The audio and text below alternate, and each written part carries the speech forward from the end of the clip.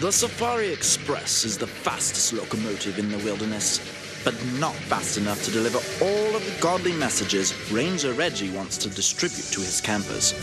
So he's enlisted the help of his friend, the infamous inventor and engineer Jasper J. Johnson Jr., to see just how quickly he can make her fly down the rails. So let's stoke up the engine, crank up the speed, and climb aboard as we deliver those inspiring letters aboard the Safari Express.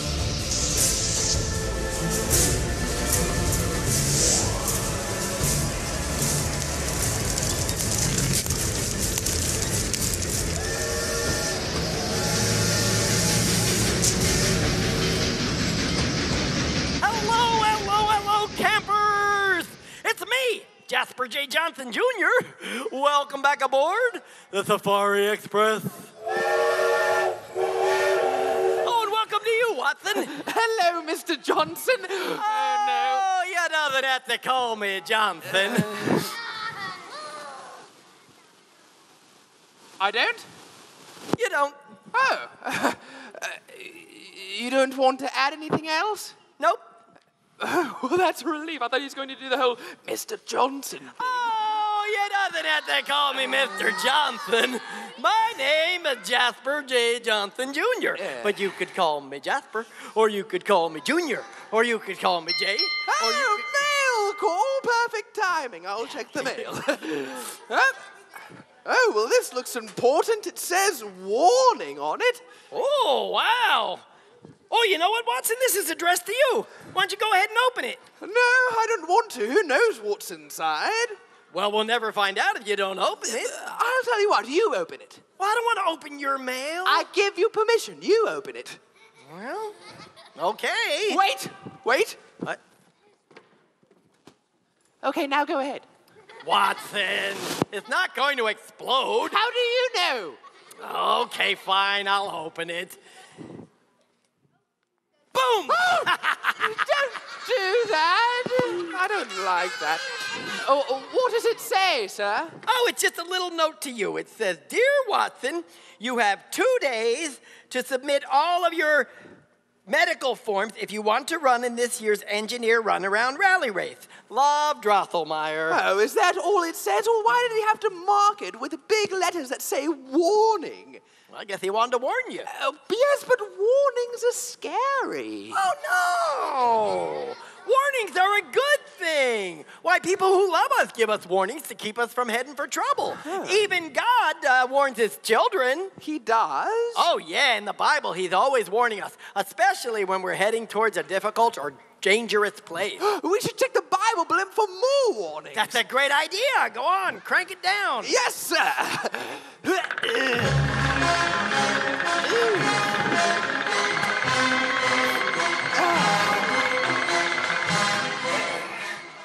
Sir. Woo. Whoa. Whoa. It wants to really land. Yeah. I better take a warning from that. Yes. All right, let's see what we've got here. Oh, this is from the book of Revelations. He who has, oh, sorry, all right. Watson. he who has an ear to hear, let him hear what the Spirit says to the churches. Uh, to what churches? What does the Bible mean? Oh, well, well, those words are found in the beginning of every one of the letters to the seven churches.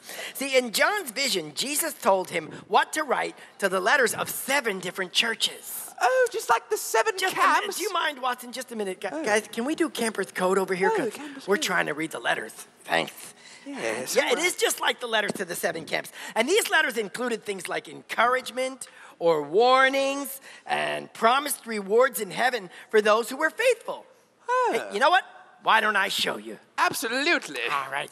I've got some letters right over here. All right. Uh, just like the seven letters that John wrote to the churches. So uh, here you go. Why don't you read one? All right, so the first one is from the church of Smyrna. Right, Um, Smyrna. Jesus encouraged them not to be afraid of the hard times ahead that they would suffer for their faith. Okay, well, pin that on the board.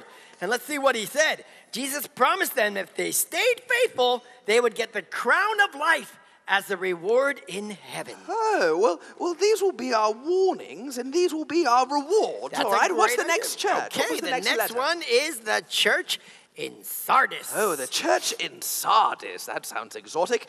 Um, this one is to the church in Sardis. Jesus warned them to wake up their faith, repent, and obey. And Jesus promised all who repented and obeyed that he would keep their names in his book forever. Oh, well, that is good news. Yeah. huh? Um, the next one, I believe, was to the church in Philadelphia. Now, that that's not the Philadelphia here in the United States. No, not in Pennsylvania, no. no, no, no.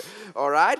Um, he told them that they were running out of strength, but if they stayed strong, that until the end, he would write his new name on them. Oh, that? If well, you what does that strong- mean? The new name? Well, it's like God gives them their name. Just like your dad gives you his last name, you would have God's name. Oh, that makes sense. All right, the next one is to the church in Ephesus.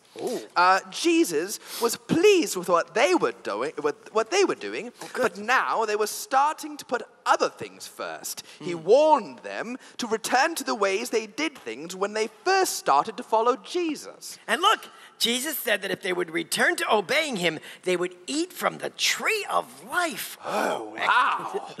All right, who's next? um, I believe it was the church in Pergamum. Pergamum. Uh, I I think it's just the one mum. It's, Oh, okay. Uh, Pergamum. yes. Um, they were doing good things, but believing in false teachings about God. Jesus promised if they came back to his teaching, he would give them a stone with a new secret name on it and hidden manna. Is that like the bread that God gave to his followers in the desert? It is kind of like give us this day our daily bread. Oh, just Got like some bread that, right there.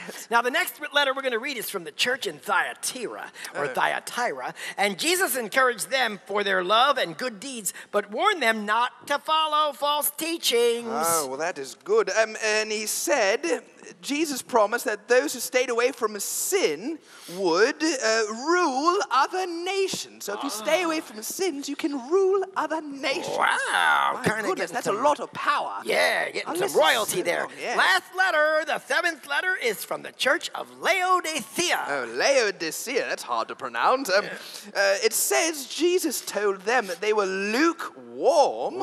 I don't know what that means. Well, you know, when you first meet Jesus and you ask him into your heart, you're Yeah. kind of on fire. You feel all warm inside and you're, you're just so excited to serve the Lord. But sometimes after we've been serving him for a while, we cool off a little bit and we get kind of lukewarm. Oh, so Jesus wants us to stay close to him, and if we do, he invites us to sit with him on his throne. Wow. well, that's a pretty nice reward. That is impressive. So look at that. We've got uh. we get a crown, we get put in the royal book, we get to rule and sit on the throne. It's kind of like we get to be near royalty because he's the king. hey, I wonder if today's animal is a royal one. Oh, Let's check out our creature feature. Creature, feature. Move it, move it. I like to move it, move it. You like to move it. I like to move it, move it. I like to move it, move it. I like to move it, move it. You like to All right, let me read that rhyme. His legs are thick, his ears are grand, largest animal on land.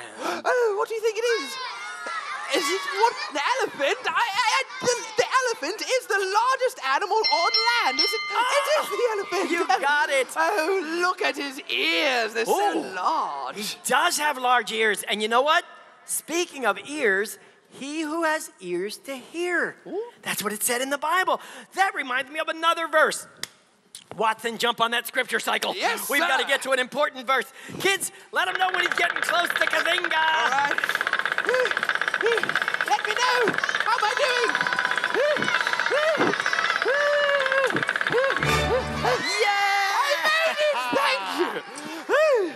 Oh, here it is. This is a very important verse. It says, Here I am. I stand at the door and knock. If anyone hears my voice and opens the door, I will come in. Oh, so Jesus knocks at the door of all of our hearts, and if we invite him in, he'll be our Lord forever. That's it, Watson. And that's why God picked the elephant. God is teaching us, just like an elephant, to have ears that listen, for his and to be able to answer his knock. Oh, when I look at this list of warnings, I feel like I've done all of these wrong things. Well, you know what? We all do disobey God sometimes. Yes, well, yes, sometimes I, I lose my strength and I forget to put Jesus first in my life. We all do. You know what? Sometimes we believe false teachings, Oh, yes. or or, uh, or we forget to love Jesus enough, and we get kind of lukewarm.